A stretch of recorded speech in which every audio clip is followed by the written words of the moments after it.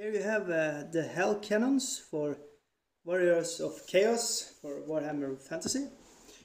Uh, sorry for not having turntables, so you get to have my hands in the way, but here we go.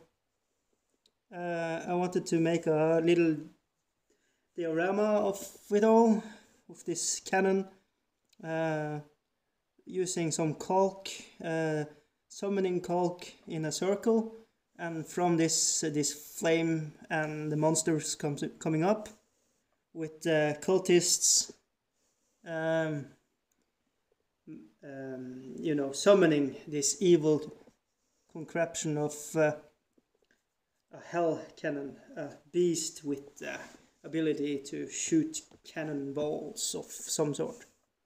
So this is the one and I have one more. I have made two of the, those uh, don't worry, you will see them both uh, at the end. These are uh, some kind of uh, toy that I have uh, painted on.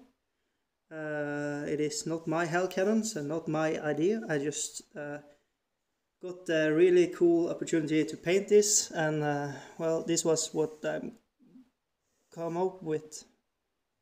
Um, so yeah.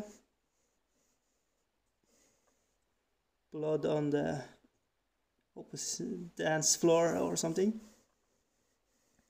And uh, so you can see none of the cultists are in the circle because there is the unholiness coming from. One is leaning forward and poking with the uh, dagger to make it angry. Both have this uh, poking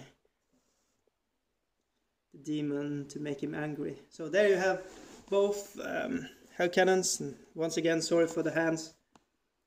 Uh, really cool toys. Uh, I don't know the names. I don't know uh, if this has been done before, but I wanted to share with you. Really cool idea for a hell cannon, I think.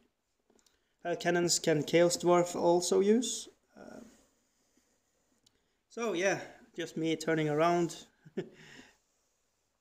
trying to show you everything.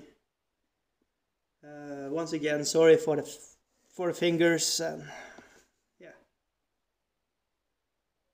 So I'm entering this to Spooky Ogre-Fest for Warboss and um, I will go cracking on the Skullcracker and hopefully get him in before the month is over.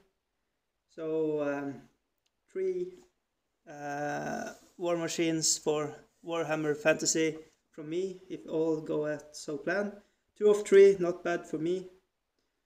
And uh, with uh, with that note, thank you for watching, and um, see you in the next one. Hey ho, gotta go.